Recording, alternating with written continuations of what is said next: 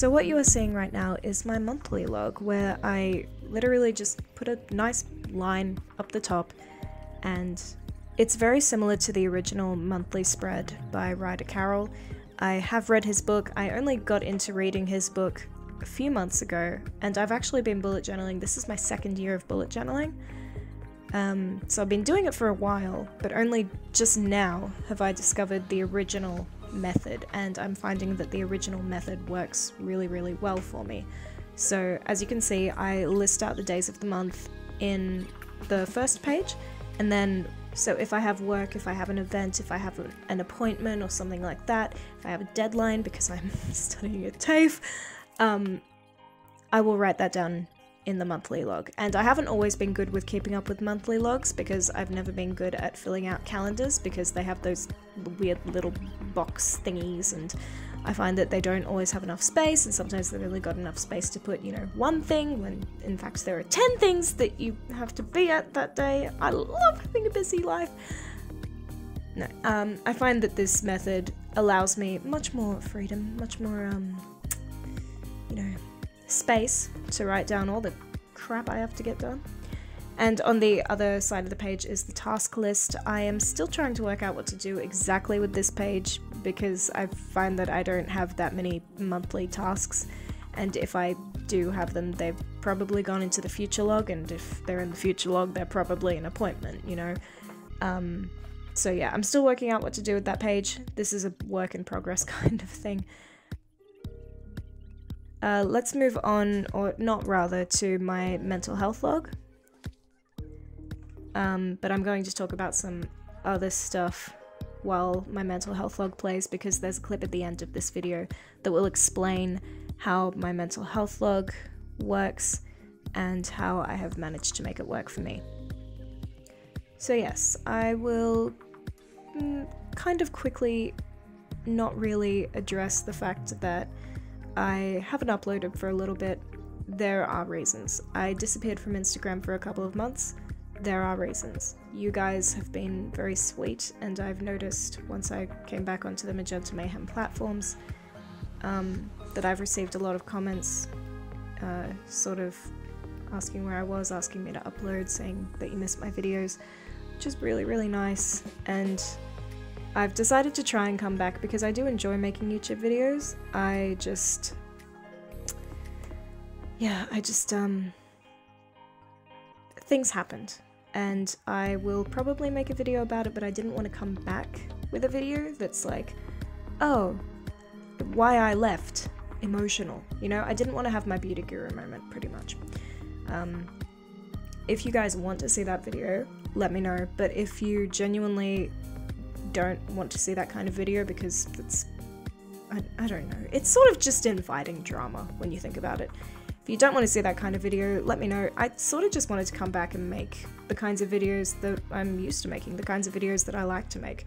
Me stuffing around with a pen, literally setting up my bullet journal on my bed at 9:30 p.m. Like I'm not I'm not doing anything that flash. My videos are not the greatest of qualities. I've already worked out by now that people pretty much just watch me so that they can laugh at how self deprecating I am, which, by the way, I am trying to improve upon because self deprecation is my biggest enemy.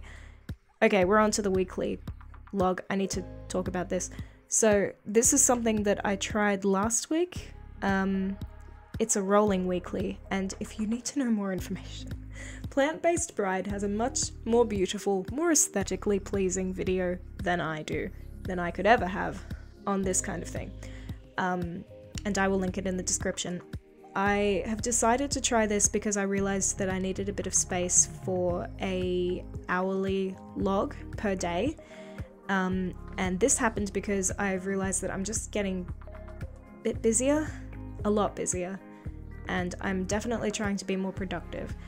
Um, which some people may say, see as boring. I still sort of see it as boring, but I'm trying to get out of that mindset because I there are things that I really want to accomplish in life, and time management is going to be one of the ways that I accomplish them. Even though I'm not very good at time management, I think that I have improved quite a bit because of the kind of industry that I work in. I work in marketing, and in case you didn't know, that's there's, there's a lot of managing your own time with that. Um, yes, but what I'm doing is I'm devoting one half of a page to a day. I've written down each hour of the day, and I'm actually going to use an erasable highlighter to block out my days. That way, if things change, if I have to go home early because I got sick at work, literally has been my whole week. I keep getting sick and having to leave work. I don't wake up sick. I wake up, I feel fine, I go to work, and then I get sick at work. What what is that about? I don't know. Anyway, I'll use an erasable highlighter because that's the one thing that made me stop using an hourly weekly. Um, I think I was still using them in January and February, but I stopped because I kept blocking out time and then something would happen and I would just go, well, mm, this whole thing is useless now because it's in pen. Um, so yes, erasable highlighter. Potentially going to use an erasable pen too. Um, and then I have a section at the end of the day for any tasks or any notes that I want to make because I've found that making notes in my bullet journal is actually really useful for keeping track of things like, oh, I don't know, having to go home because I was sick at work again. I'm fine. I'm fine. I didn't mean to come back cranky. I just. I, I had to leave work today at 2 pm, despite the fact that there was priority stuff that needed to get done, because I was so nauseous that I kept having to take breaks from the screen because the screen was making me nauseous. It's driving me insane, but I'm still trying to be productive. Can't be productive at work because it takes me twice as long to do stuff at work, but I can be kind of productive in my personal life, right? Right? Anyway, the one thing that I forgot to do with this rolling weekly, I believe, in this video is, um, actually fold the page. the middle page, there's three pages, or three, yeah, there's three pages to this spread. Um, and the middle page you're meant to fold in half so that you can fold it over, flip it. I'm going to link Plant Based Bride's video because I'm pretty sure she did a video on that. I'm pretty sure that's where I learned it from. My family's home. My family bought me chocolate. I love my family. anyway, what was I talking about? I was talking about Plant Based Bride and the Rolling Weekly. I find that the Rolling Weekly is going to definitely add space to my week, which is sort of what I needed. Now, I keep seeing people who have a big old just a list, um, which I don't need. I don't need a super long list because that will honestly just drive me insane. I work a job. I don't, you know, I, I find that a lot of bullet journal people are self employed and that is fantastic for them. They need that task list, but personally, I have a task list at work and I have a task list at home, and that's how that system works for me. I don't want anything anything work related in my bullet journal unless it's just, you know, go to work for 6 hours. So yeah, there is my weekly spread. I and that is my bullet journal in general. I hope that you guys liked this. I'm about to play the clip of me talking about the mental health vlog. um, fair warning, I actually filmed it late at night. So I sound kind of sad, but also just tired because that's. Sorry, that's how I felt. I wasn't feeling that great yesterday either.